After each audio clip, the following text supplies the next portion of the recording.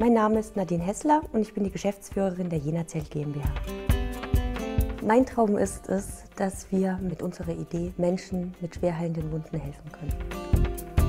Die Jena Zell hat ein weltweit einzigartiges Verfahren entwickelt, mit welchem man ein neues Nanobiomaterial in Serie produzieren kann.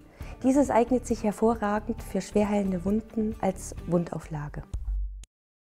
Die Jenazell GmbH wurde aus der Friedrich-Schiller-Universität ausgegründet, die bis heute eine starke Unterstützung für uns ist.